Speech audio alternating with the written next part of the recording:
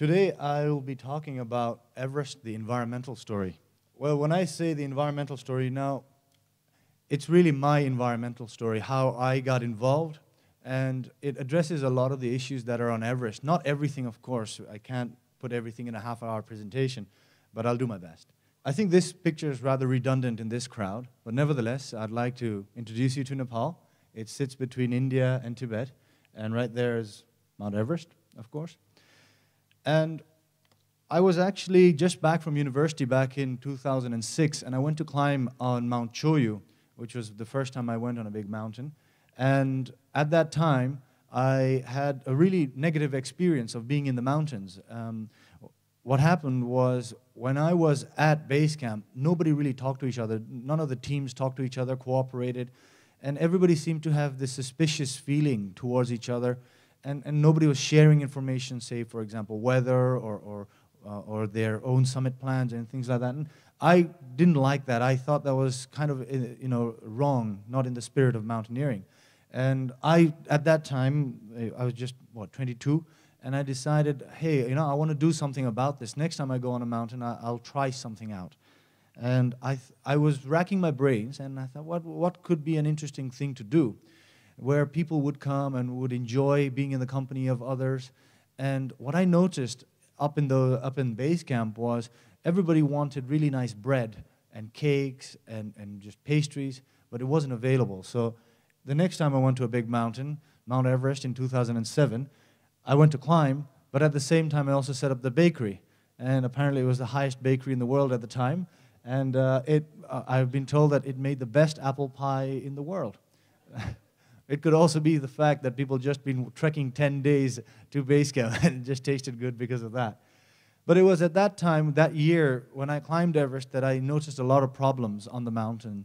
Um, in particular, uh, trash.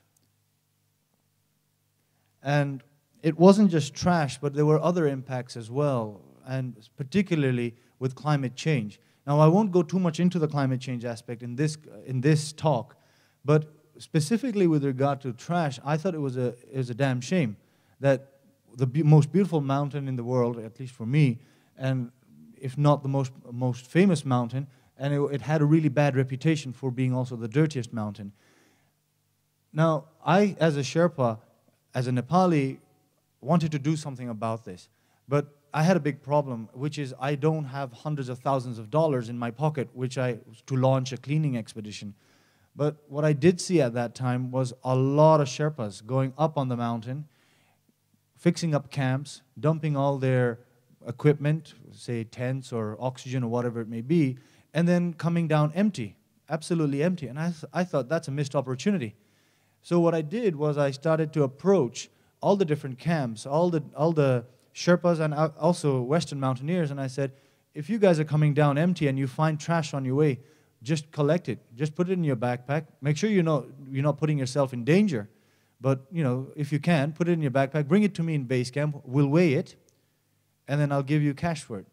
So at the moment, we're still doing this, and I started this scheme in 2008. We call it the Cash for Trash and we've still been we've still been doing it this year again, uh, up, until this year, um, and uh, it's been pretty successful. Uh, we're paying 100 rupees, which is about 1.2 um, New Zealand dollars, or just under one US dollar per kilogram of garbage that is brought down. And the, the great thing about that is it, it's money spent that directly gets a result rather than me spending money on putting a big team together who may or may not bring down trash. Here, we're paying directly for the trash to be brought down. And you know what? Everybody actually joined in because, you know, um, most of the Sherpas there are there to make a living, to, for an income.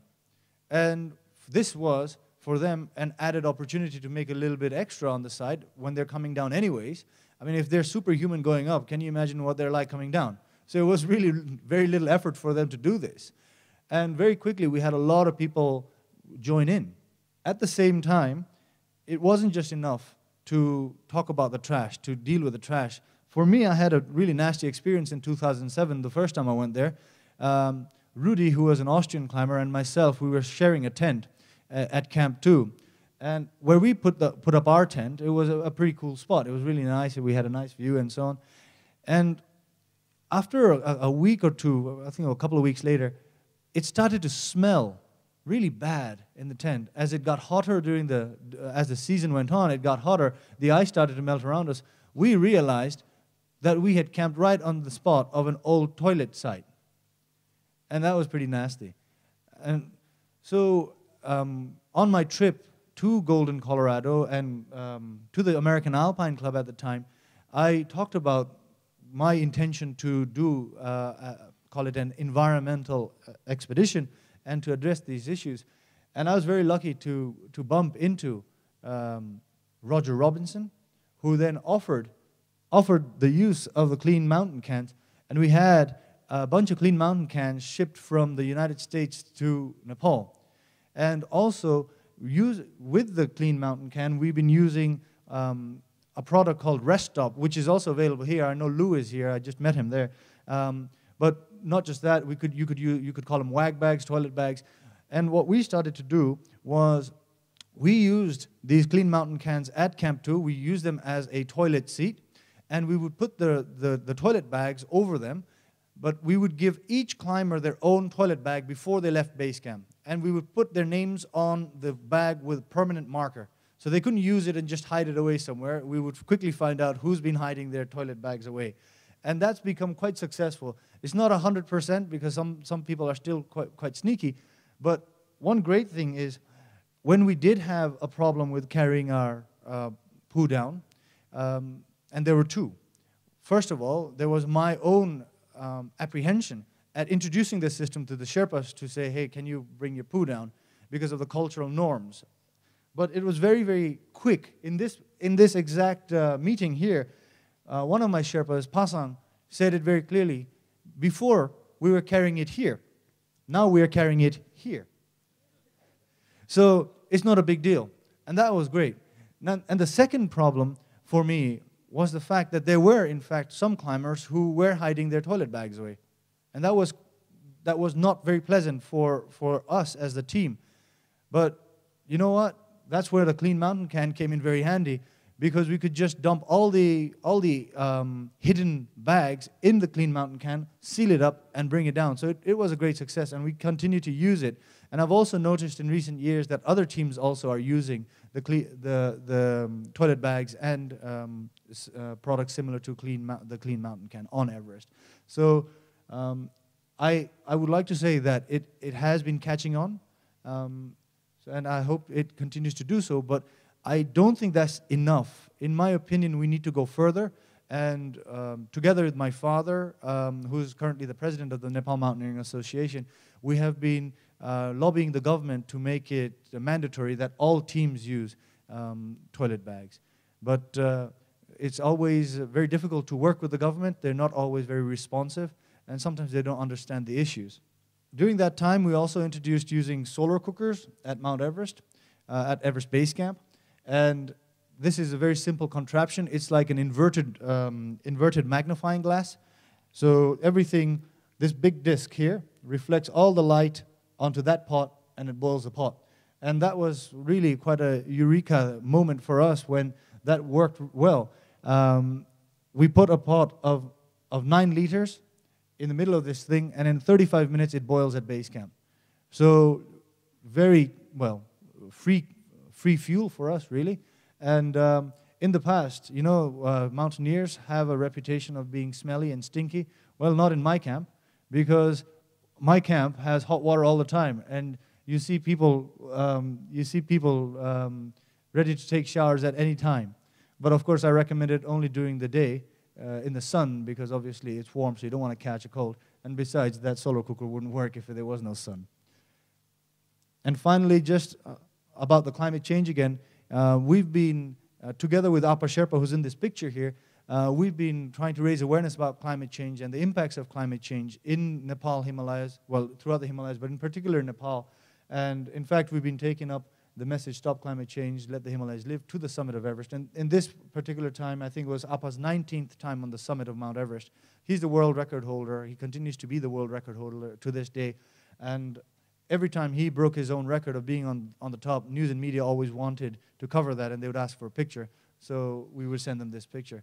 Um, and following up from, from our expeditions on Everest, actually, Apa and myself also walked right across Nepal uh, in 99 days, uh, visiting all the different villages uh, and looking at the climate change impacts throughout Nepal, not just in the mountains.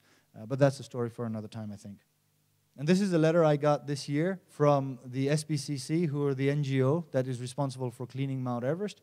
And um, I'm very proud to say that uh, until today, we have cleaned up more than 15,700 kilograms of garbage off of Mount Everest. And God knows how much uh, human waste off of it.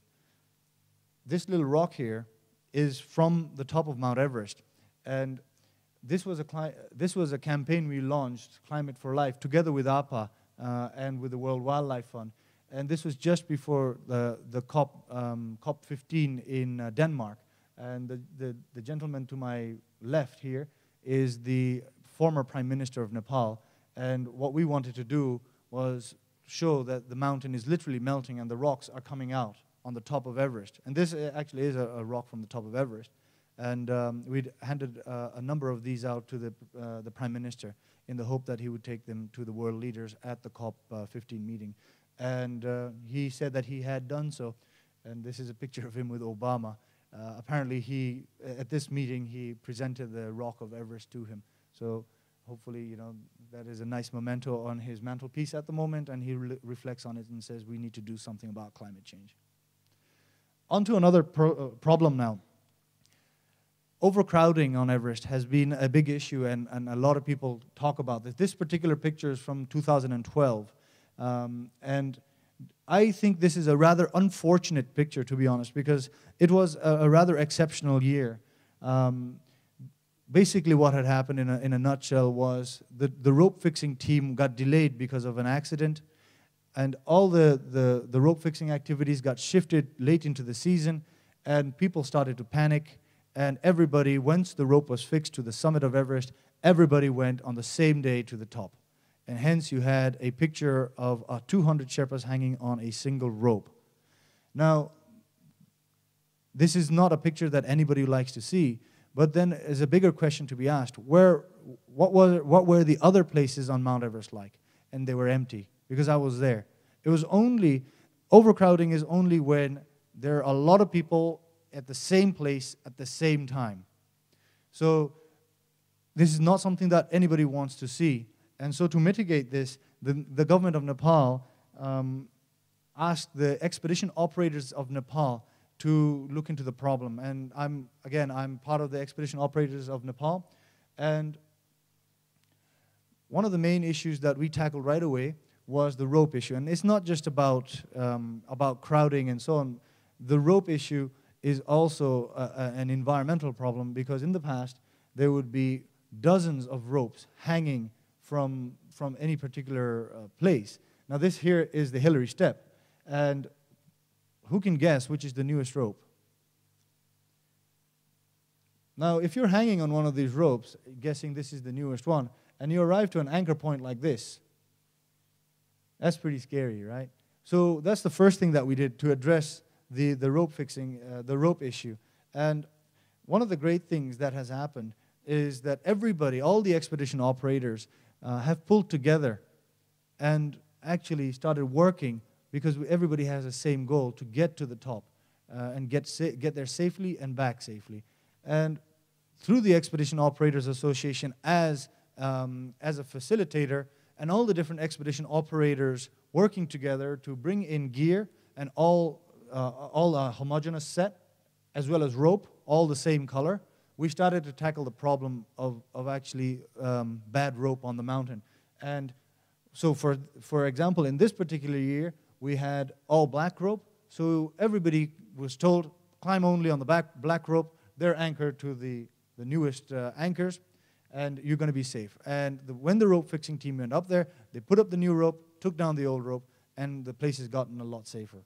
At the same time, we also started to talk amongst ourselves. And like I said, the biggest problem with crowding is when there are too many people at the same place at the same time.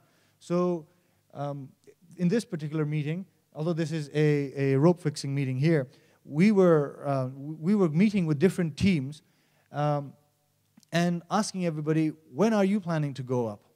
And some would say on the 22nd, some would say on the 23rd, some would say 24th, some would say my weather's saying later, 27th, whatever it may be. And we would go around camp, or we would meet at a meeting like this, and we would note down everybody's uh, expected summit dates, and then calculate.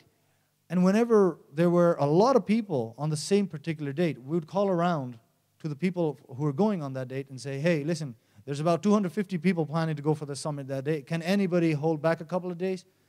And overwhelmingly, the response was yes, because nobody wants to climb in a crowd. Nobody wants to run the risk of running uh, out of oxygen, you know. So everybody is very keen to shift their schedule so that this crowding issue would, would not affect their own particular climb. So it's not ideal, but what we, with what we have in Nepal at the moment, it's, it seems to be working. But there are, of course, bigger questions about how do we, uh, how do we regulate the type of climbers that come to Nepal. But until there are clear regulations from the government about putting restrictions in, it's, we're still going to be facing these problems with a lot of people coming to Nepal to climb, and we're going to have to manage it. Um, so far, it's been okay. Eh, fingers crossed, it'll stay okay. But nevertheless, we are still working on different regulations. Uh, and one of the regulations that we've proposed is that climbers should, be, um, should have a track record of climbing big mountains before coming to Everest. Um, also, and more controversially, uh, we have also noticed um, that climbers who are actually unassisted have a bigger risk of running into danger, uh, have a bigger risk of getting into accidents or into tricky situations where they will then require um, people, other teams to come in and rescue them. So controversially, um, there is a proposal in that every team, uh, every team should have, um, sorry, every cl uh, climber on the permit should have a corresponding Sherpa to climb with him or a guide, uh, a certified guide climbing with him on a 7,000 meter mountain, eh, uh, on, sorry, on an 8,000 meter mountain, every two climbers should have one Sherpa uh, on a 7,000 meter mountain, I believe it's three to one, um, oh, sorry, one to a team. So uh, these are some of the, regula- uh, the, the proposed regulations. It's not gone through, but the government is mulling it over. In recent times, we've also uh, been getting uh, reports in the media, I'm sure you might have read it, that the government is mulling over new ideas about um, restricting uh, disabled climbers and so on. I am to be honest, personally, I am against this. I do not think disability is a reason to bar somebody from the mountain. I, there are plenty of disabled climbers who are better climbers than I am or are than many people in this room. And I think that, is, that, that would constitute discrimination, and that's what my opinion is. I've, I've been putting this forward. But surely um, there should be a way of um, um, testing, or rather, sorry, um, uh, screening uh, climbers on the mountain. But in Nepal, we do have a problem. If we introduce any new regulations and they are very restrictive, the simple answer for climbers is we're just going to go climb on the China side. So Nepal does have its hands tied a little bit in that if it wants to introduce new regulation, it needs to work with China. And it's not always possible to do so. But an example of where it has worked is when uh, a 13 year old young American climbed and became the youngest American to climb Mount Everest there was media uproar. Uh, and the Chinese got wind of this. Um, and they don't like bad publicity, as you and I all know. And very quickly, the Chinese drafted a, a new regulation of minimum age, and that was then um, uh, communicated to the Nepal government and said, listen, we need to do this, and Nepal government went through with it. So things can happen very quickly, and the media does have a big uh, part to play in this, uh, as, as do gatherings like ours where we have a big say in how mountains are run. So I keep on uh, um, bashing this point that um, we need uh, to communicate with the government of Nepal, whether it's through the media, whether it's talking directly to the ministers, however it may be, from our own different positions, we need to keep talking to the government of Nepal that they put in good regulations so that the future of mountaineering stays um, good in Nepal. There was another proposal uh, that the government um, asked the Expedition Operators Association to look into. And that was what would happen if we put a ladder on the Hillary step. We looked into it. It is a possibility to put a ladder in the Hillary step. And of course, a lot of people don't like this idea. But the thing is, in the 1960s, the Chinese already put a ladder on the second step. And many, of, many people don't actually know that, but there, there actually is already a ladder high up on the mountain on Everest, but on the China side. Uh, Nepal was looking at the same idea, and we're looking at putting a ladder down here to come around. So basically, one of the big bottlenecks on Everest is the Hillary Step, where people would uh, be going up and coming down at the same time, and that caused a huge problem. Now, unfortunately, um, this has now become a redundant argument because the latest reports from this year is that the Hillary Step is gone after the earthquake. This year, our climbers came back and said these boulders here have fallen down and that it's not so much of a step but more of a ramp now and it's much easier to pass. This is not, not really that great news, to be honest, so I'm sorry to be breaking that news to you now. Um, but then now the question of the future. What about the future for Everest? How do we go, go further? Now, on this particular point, I think I, I need to make you aware that there's a road coming to Lukla, to the Everest region. And this road is going to be there in the next five years.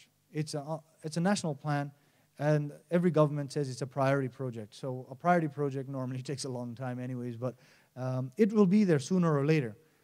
And the question is, how is that going to impact Mount Everest and the Everest region in general? And our suspicion, when I say ours, the community, um, the Sherpas of the region, is going to have a huge impact. Because, first of all, there's not going to be any seasonality anymore. Everybody wants to go to Everest. Most people that come to Nepal want to go to Everest at least once. And when you don't have the seasons in the way, you're going to have people being able to go to Everest any time of year. Not only that, it brings down the cost of travel to go to Everest. So now instead of $360 for a flight to Lukla and back, you could probably get there in about 1800 to 2000 rupees, which would be about $20 if you took a bus there. So that means that people who were previously not able to afford to go to Everest can now do so. Like I said yesterday in, in the talk, people spend more on the flight to Nepal than they do in Nepal. Now, with the type of people, the, call them backpackers or, or, or um, low spending uh, tourists, they're going to the Annapurna region predominantly at, at the moment. But the moment that road comes in, they're going to be able to go to Nepal on a budget, on a shoestring budget. Uh, sorry, go to Everest on a shoestring budget, and that means that numbers are going to boom. And right now, we're, we're just about 38,000 trekkers a year in the Everest region, and that number could go tenfold, goodness knows. Right. We are actually in the process right now of doing an impact assessment so through an association, uh, an organization that I'm involved in called the Climate Alliance for Himalayan Communities, we're just in talks with um, an organization called Frost and Sullivan, who are um, going to, we're just about to sign an MOU, uh, and we're going to start raising funds for doing an impact assessment of this road in, that's going to Mount Everest. And what's going to be the social impact, what's going to be the environmental impact, what's going to be the economic impact. And um, hopefully we'll have this um, assessment before the road actually gets to Lukla. That's one of the good things in Nepal that everything's so slow. Maybe we could get that done before the road gets there and prepare for the negative impacts and encourage the, the more positive ones. But at this moment, that is still up in the air. And uh, I hope that in, a, in the next uh, sustainable summits, uh, if I get invited to talk again, I'll be able to share some good news. For now, thank you very much for listening.